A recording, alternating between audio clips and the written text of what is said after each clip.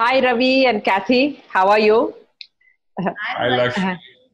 So today we are here to talk about the myth of the entrepreneur. Is entrepreneur a myth, or is there a myth behind the entrepreneur, or is there a myth of the entrepreneur? Or tell us a little bit about what this book is about.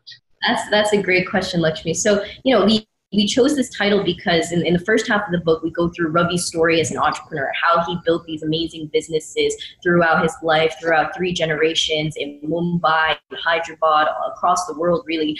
Uh, and then in the second part of the book, it's titled Myth of the Entrepreneur, and we go into, you know, why this very successful entrepreneur actually took a major pause in his life and rethought all of the things that it meant about being an entrepreneur and changed significantly the way that he operated and structured his new set of businesses under a trusteeship structure where most of the profits over 90% are distributed to uh, a charitable trust from the beginning where you know giving and shared wealth is in the very dna of the business so we mm-hmm. track this journey personally and we also talk a lot about you know uh, how an entrepreneur himself, living the life of an entrepreneur, kind of wakes up to this myth and realizes, you know, there's much more to this uh, that I can do, and there's there's there's a stand that I really need to take.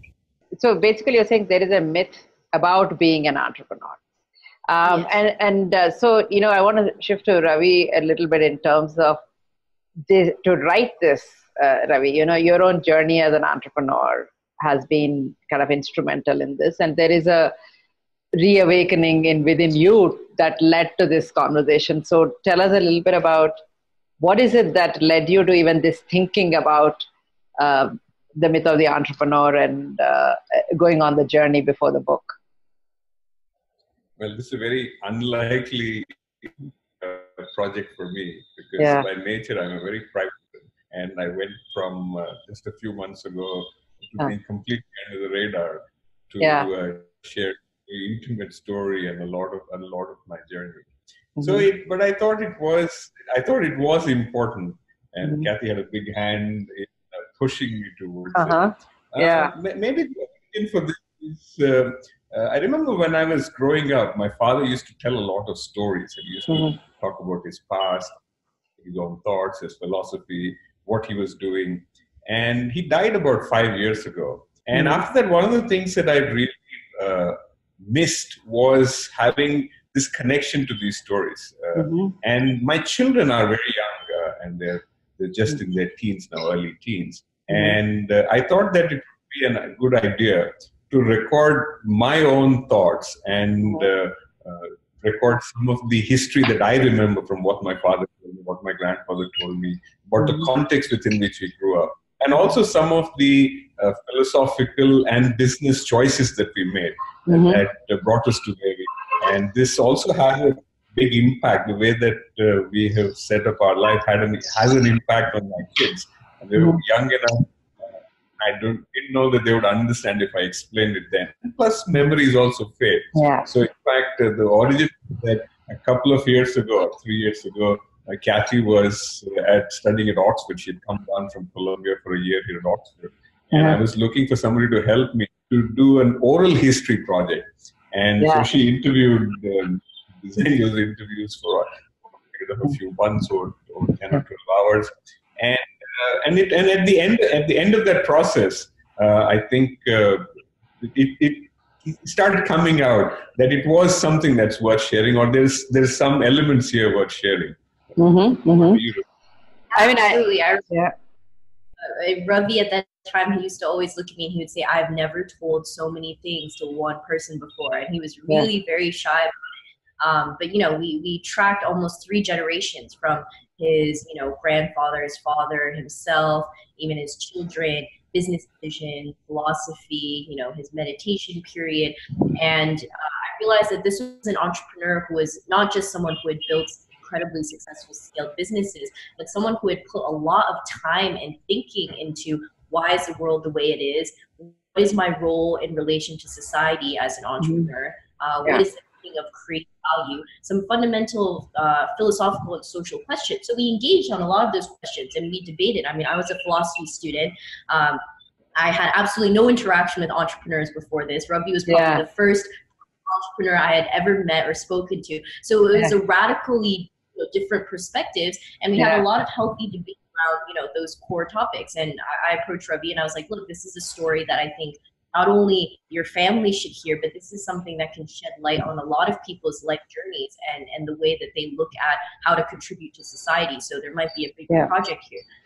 And also, I mean, it's always interesting that we always talk about being logical and saying that I will do this for this many years, then this, like, life's a plan.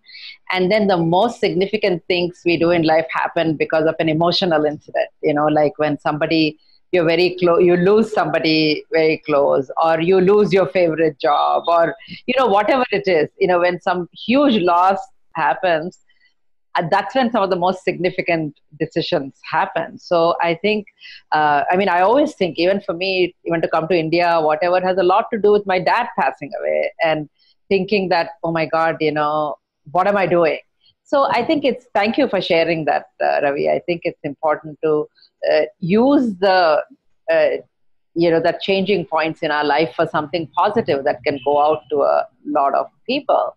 And continuing on that because one of the things you you know one of the things that comes out a lot is in terms of um, dealing with inequality of outcomes. I mean in the sense that uh, all of us may be just as smart as the person living down the street or vice versa but sometimes some success may have come just because we are lucky to be where we are not necessarily we are smarter than anybody else or uh, better than anybody else.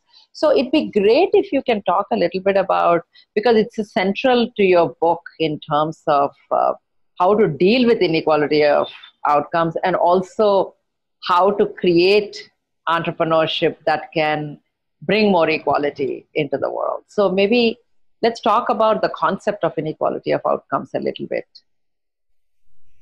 Yeah, absolutely. So, you know, when, when we framed the book, we really saw uh, the world is going through this uh, this crisis, right? If you look around the world, if you look at the U.S., you look at uh, political movements right now in France, you look at what's happening in Europe, you look at what's happening in Asia, uh, there's a real social crisis that people feel like uh, the kind of liberal democracy that everyone thought would bring um, welfare to all is breaking apart. And this is because multinational companies, uh, individual entrepreneurs, and you know the top 1% that we hear about so much in the press uh, owns you know over 50% of the world's wealth. And the rest of the 7 billion we kind of share you know what is what is left. And how did capitalism and democracy create this reality which now many people are fighting against and many people uh, see as unfair? So we know that you know socially this is happening at a global scale.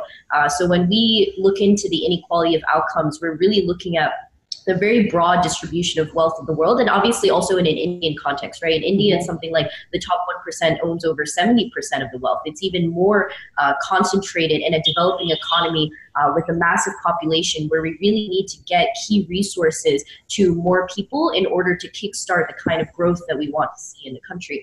And Ravi has a lot of thoughts as well about how much wealth is going to be created in India in the next 15 years. How is that going to be distributed? What different realities are going to be created uh, if, if we allow this to continue? So, mm-hmm. you know, broadly, we look at like globally what's happening in inequality and wealth distribution. We look at the trickle down effects of that, right? What does that mean on education? Because what happens is inequality is a is a is a positive feedback loop. Inequality creates more inequality because it yeah. happens that the people who have the resources then also have the massive edge in terms of uh, education, in terms of other resources, in terms of network, and then it essentially compounds itself. So we look at this story of Venice, right, and and and the La Serrata, this period in Venice's history, where it went from being one of the most vibrant economies in the world to essentially becoming completely closed off uh, because the inequality had spread so much that it started essentially choking off the growth of the place. Because then you have a lot of entrenched interests trying to push their own agenda and not necessarily doing something that's positive for growth. So we want to make two points. One is that inequality is massive right now uh, in terms of wealth distribution across the world. This is something that's widely discussed uh, across academic and, and the second thing is that inequality creates more inequality of outcomes. And the third thing is that, you know, after a certain threshold of inequality of outcomes, uh, everyone's outcome is actually worse. Uh, so yeah. how do we stop to this self-destructive cycle is something so if i were if i were to put a specifically an india angle to it, Ravi, so because of your experience growing up here, uh, etc., and being out there also. You know, uh, uh, enjoy, uh, enjoying both the the you know situation, etc. In what way did your own personal experience or uh, contribute to addressing this issue here? Is it that at some point there was an aha moment for you, or what happened for you that you have seen here that made you want to address this in a big way? I, I mean, I, you're right. I, growing up in India, uh, it is very stark, or most all the points that Cathy was talking about inequality, they're more Correct. visible. But Correct. the more I live in other parts of the world, I find that it is almost equally similar in other places too. Correct. Uh, yeah. And I, I, would say for me, I don't know about an aha moment, but certainly there's an aha period. Yes. Uh, yeah. Yeah. Maybe. Yeah. So, what was your aha period? I, I spent. I mean, I spent the early part of my business life or career trying to build businesses more as sort of an art form in the sense Correct. that I would identify an opportunity and find some solution, execute it well, uh, find an elegant way to do things, uh, create equity.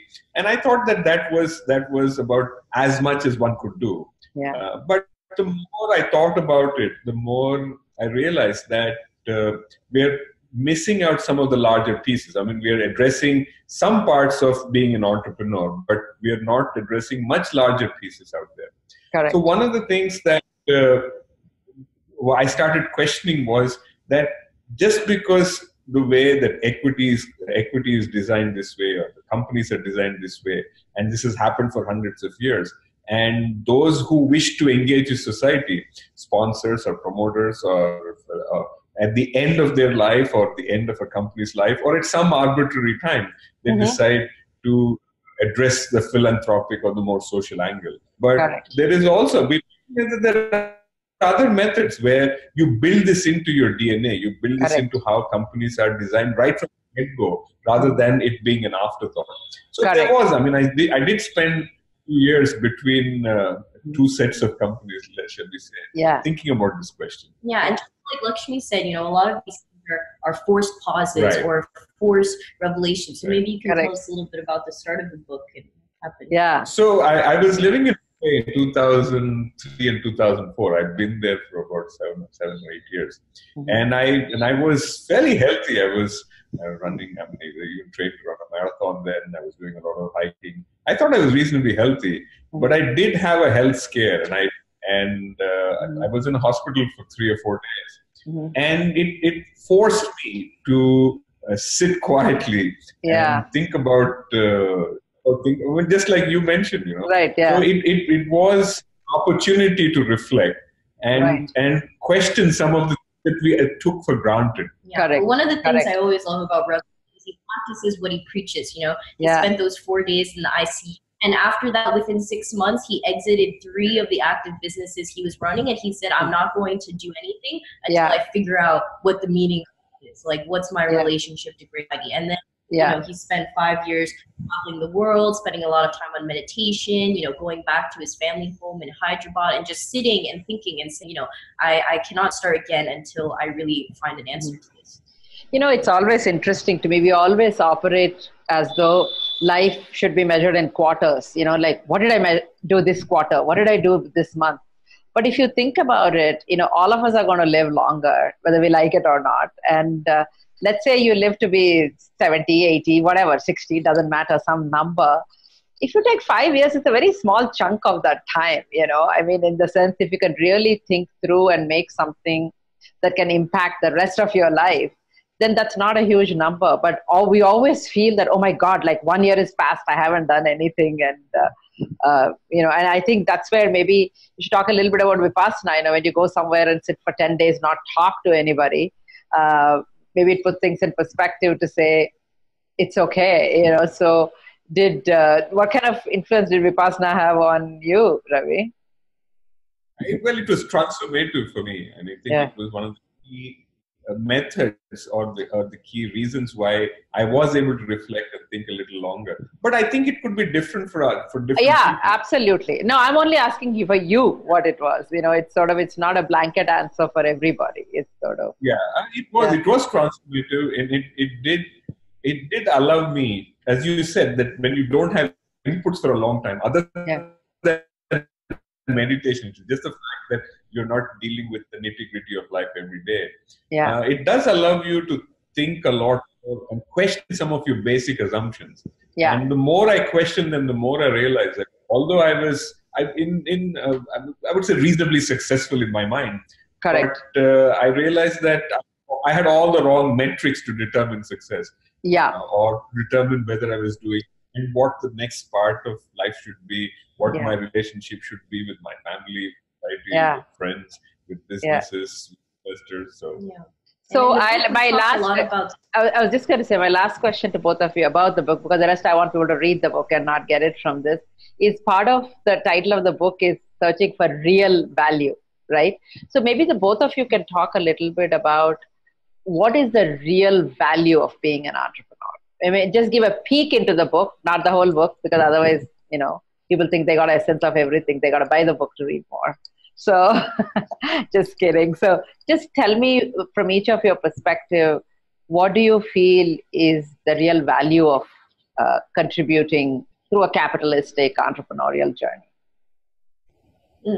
when you start. Okay, I, I think that I think that when we said a search for true value, we meant it on, on two levels. Firstly, is Ravi's story and how he searched for true Sure. value. So, like he said, he went from being an entrepreneur who had his own artistic process, who really, you know, was radical in the way he was doing business, but maybe was not thinking about why he was doing business, right? And I think as he was forced into this pause and went through meditation and went through these things that force you to face those first principles, he realized that the true value of, of an entrepreneur is to create collective value. That all these stories we hear these days about this, we- we focus a lot on entrepreneurs as individuals, right? Uh, this Right. entrepreneur and story and he created this and this is and this is his and so that's why he's so wealthy et cetera and successful and powerful. Um, and i think we really take the philosophy of meditation. A lot of meditation is about decentering the ego is about saying you know it's not about me or i you know this self that we hold on to so much actually changes constantly. And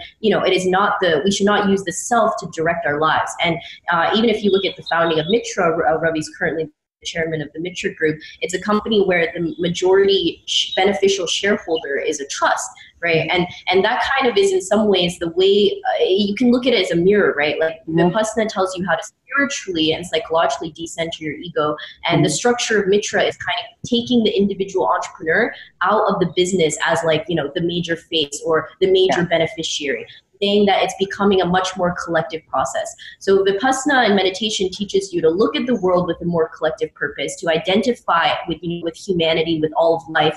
And i think the way that the trusteeship structure works is being able to take out the, the entrepreneur as the main beneficiary and have it be you know a collective. So mm-hmm. trusteeship was something that's been championed since Gandhian times.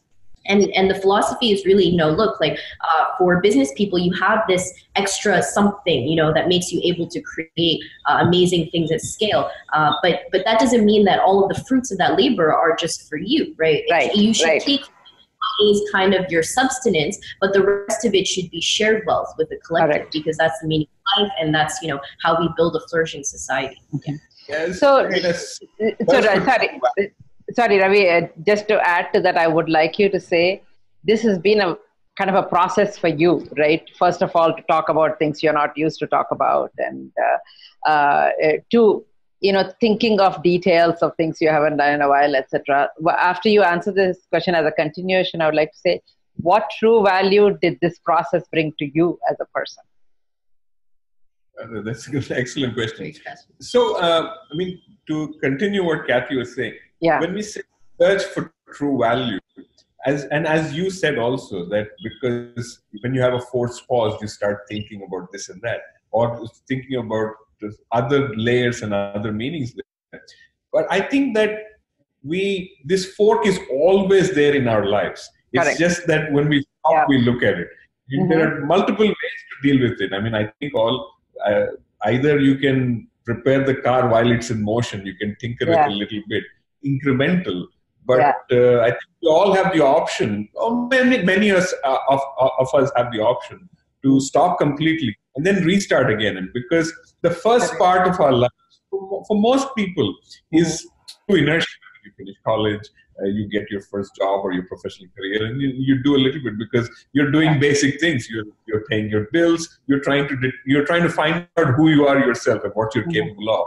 Yeah. Uh, most people continue. Uh, I mean, it's very hard to to make any big change there. Mhm. But I think that uh, everybody should, and I and I believe with with hindsight, I should have thought about this a lot earlier. That we should question assumptions of what is value. What Mhm. is it that what is it that we are spending so much of our time and effort on? Uh, and uh, what is it that what, what, I mean? Uh, as as we are saying, the myth of the entrepreneur. I mean, Yeah. value not necessarily simply building a business or simply creating jobs. I think it doesn't stop there. Correct. And I, you know, I keep saying that today somehow the world of entrepreneurship has become about valuations instead of values. You know, so it's sort of what values do you want to put out there? What values do you live by? Because at the end of the day, you know, there's only whatever six square foot. In my case, five square foot, whatever. You know, or maybe ashes take even less. So you hardly occupy anything in this earth at the end. So what's your journey about? And that's why I think it's great, uh, Ravi, you're sharing about the value it had for you. Uh, and I think it'd be wonderful for a lot of the people to read the book and learn about your journey and see where your moments were and how you actually turned an idea into an action. So it's sort of like, uh, yes, it's about uh, trusteeship, but but you actually went out and created a company that actually implemented that. So it's not just about ideas, but how do you implement the ideas? And I'm sure the readers are going to find how to do that. Um, I want to shift a little bit to the process itself of writing this book. Um, eh, you know, of two completely different people coming together. Uh, you know, a, a philosophy major and a business person um, from two different cultures, two different businesses coming together yeah. And of course you look like twins but uh, uh, and uh, what was the I, I mean collaboration process like you know? Because i'm very interested in understanding because i truly believe that in world great things happen if we can collaborate with people. But it's also more difficult because you know the minute there are variables it's also difficult. So it's sort of telling me a little bit about maybe the best part of collaborating and the toughest part of collaborating uh, for both of for each of you. Maybe one can talk about the best and one can about the, the tough. Maybe we have different ones for those uh, but but I, absolutely i think it's also good to, to to talk a little bit about how this collaboration came to be. Yeah. Like i said this oral history project and i really mentioned offhand to Ravi, like look this story deserves to be told. But he was the one who approached me and said what do you think about working together on a book? And and i really respected Ravi for that and I even asked him i was like look we come from completely different backgrounds. I was like i have no track record in writing a text of that scale you know you could Yeah. hire any person to collaborate with you who might be a professor of business or entrepreneurship or someone who's just way more polished in what they do. And one of the things that Ravi told me was, you know, I would like to write this book with you because in our conversation and kind of surrounding debates we had while we were doing the oral history, he was like, you know, he was like, what he said was, I'm always considered, I'm speaking from Ravi, like, like Ravi's always considered a radical, you know, amongst his peers. And he was like, what I liked when conversing with you is that you were the radical and I was the conservative. and he was saying that he wanted a voice that was pushing it, the conversation even further, right? Someone who is at a completely different end of life, who's looking towards the future as something that, you know, is so expansive and, and has so many possibility that we can consider truly radical outcomes. And I thought it was very, very brave because at the end of the day, you know, this book is very much uh, also a, a personal legacy, and I thought that it was it was extremely brave for someone to actually say, "I will put that in the hands of someone who is so young, who is." so different from me and trust her with my story that she'll do it justice but also that she needs to put her own perspective into it so i, I, I highly respected that uh, the other thing was you know when we first started working on the book we brought together a bunch of researchers from different backgrounds people who are studying you know uh, economics theology uh, history and we said you know let's get together a bunch of ideas around you know uh, what is entrepreneurship historically, uh, what is the diagnosis we have now on things that are wrong in society, how can we come up with solutions. And Ravi, like the private man that he is, was like, you know, first version of the book was no personal story, none. yeah. Just, you know, it was like, it was text argument you know uh, we studied scandinavian nations we studied you know asian nations uh, and uh, and and you can talk about how the personal story got in there. You know, I'll tell you one thing, Cathy. You know, you may think, uh, you know, it's brave of him, but he's very smart because he knows you're his target audience, right? So who else better to write the book than the target audience? And uh, and also, so, most most books you see, especially when you're when this is a call to action. I mean, it's not just right. a book for its own sake. It's not. But one one side, it's a reflection of some of my journey or some of my ideas. But it's also the other side. The voice is somebody who's looking out towards the future, who represents a completely different uh, uh, out, outlook in society now. Correct. And Correct. also, yeah. the thing I realized, even when we did the oral history project, was Cathy was a very good leader and organizer. So we decided to make this book not simply one voice or even two voices, but actually involve a lot more. So I mean, it's all two-year period of research and writing. When and Cathy went out and hired these people, would have days yeah. and days of discussion, and people yeah. would pitch ideas saying that Correct. this is we'd like to include this, and then everybody had to they had to defend saying should we include this? What's the example you should include? Is mm-hmm. it contribute to the book? So it became more of a project, and I think that that that really enhanced it rather than being simply one point of view. Yeah. Great. So I think the things to sum it up is that we had you know mutual respect from the beginning, which I think is yeah. really important collaborators, even when you're so different. Uh, and I think the second thing is just how much we, you know, like you said, it takes a village, right? And we really yeah. try to be very yeah. inclusive process. And, and, the other thing that I, uh, the, sorry, the other thing I also know from my past talking to both of you is that when you have a difference of opinion, the point is not to hold it back, but to put it out there and argue it out and then come to a conclusion and you, you know, the, whatever you disagree and commit or agree and commit. But one, one, of the, one of the themes we have in the book is about cognitive dissonance. That yes. you have the competing ideas in your mind or competing yeah. viewpoints or ways to do things. And it doesn't mean that you have to, you have to go by one itself. I mean, both of Correct. these are continuing voices in your mind when you're making choices. Correct, correct, yeah. And I think that's very important because a lot of times you feel that, oh, if I disagree, it may be rude, but you're disagreeing with the idea, not with the person. And I think to to be able to have that out there is uh, is uh, is uh, very very important. You know, in at, in my past life in Intel, Andy Grove used to say it's constructive confrontation. You know, so it's sort of it's good to put it out there. So, like what she said in terms of putting a personal side of it while you didn't have it in the beginning. Uh, this also shows that the youth today they're not interested in getting gyan from you you know getting like knowledge from you they want to know the story they want to know what does this mean to you where is this coming from there's a value they're seeking to say are you worthy of this message? So I want to know where this is coming from. So I think it's fantastic that, uh, you know, not only that she pushed, that you felt more comfortable because we, again, we feel that this is my professional life, I'm okay sharing, but this is my personal feeling, I don't want to share, but it's really one person, you know, so it's great that all that is uh, coming through here is the two of you who have written the book together. Uh, you're as different as can be and still as similar as can be. I would love to know what would you like to get out of this book? What uh, actually the question is what impact would you like to see this accomplish out in the world? I think for me, the book itself is a starting point in a conversation. I think it was an attempt to put together some of the ideas and thoughts that we've had. Uh, living life, building companies over the last few years, uh, and coming to a different set of realization when you share it. But also, uh, we realize that this is one story. I mean, we'd love to engage with other stories and see what are the other voices out there. And I, and I think that all of us tend to believe that things don't can't change much. But uh, we have seen, even in the last few decades, that changes happen in almost every sphere of life.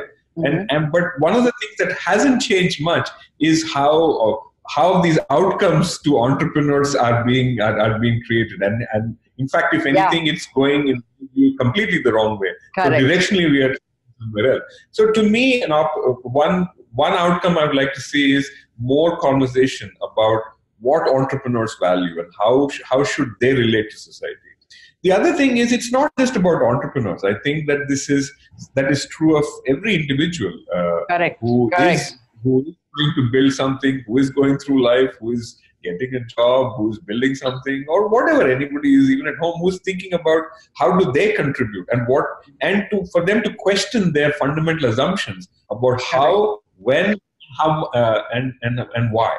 Mm-hmm. Yeah, yeah, and I, I think it. Sorry, I was just going to say, and I think that uh, one of the points you both of you made is that your contribution or whatever can start from the beginning. It's not like, okay, when I'm 80, when I made my money, then I'll give some of the money away. It's not like that. I mean, even if you are a student, you can give yeah. something.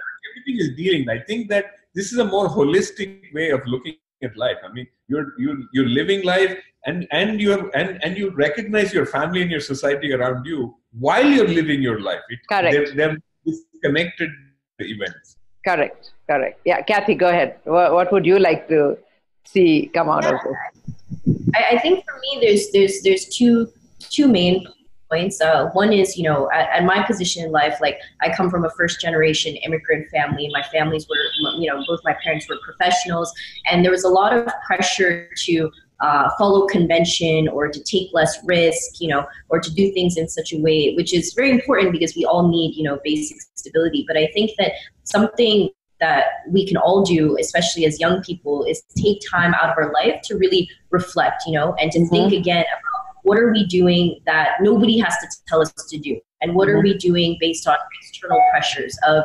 convention or you know peers or social pressure?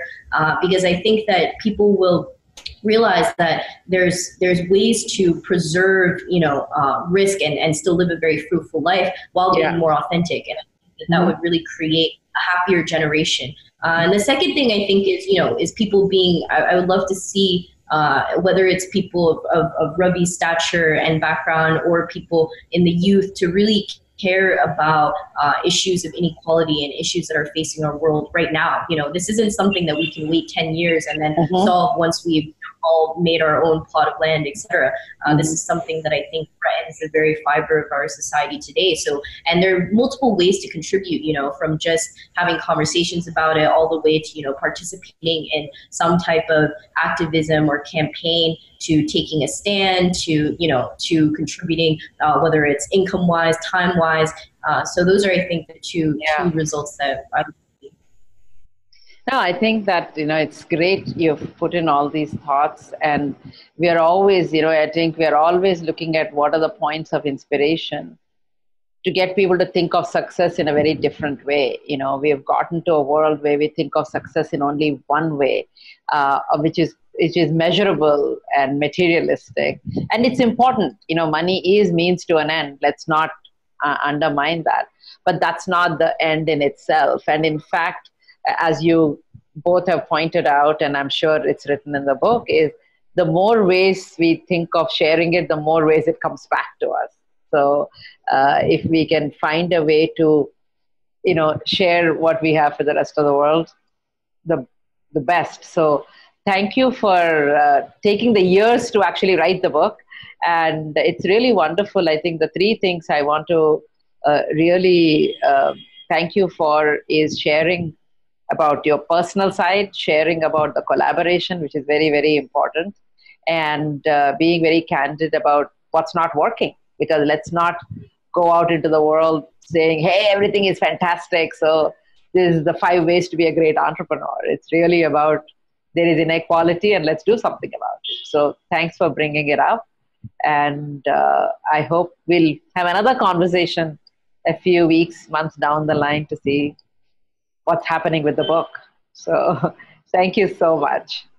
Thanks thank for the time. So and if anybody wants to learn more about the book, you can go yeah. to www.searchfortruevalue.com. Um, yeah. The book is available uh, across India, will be released on May 6th, and yeah. we'll definitely you know, doing events and, and wanting to meet our readers across India. So definitely hope to see some of you guys.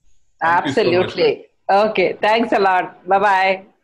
And I hope uh, all of our audience, whoever gets to watch it, enjoys the informal nature of this. It's great to just have a chit chat with you from our living rooms. So good to connect. Okay. Bye bye. Bye.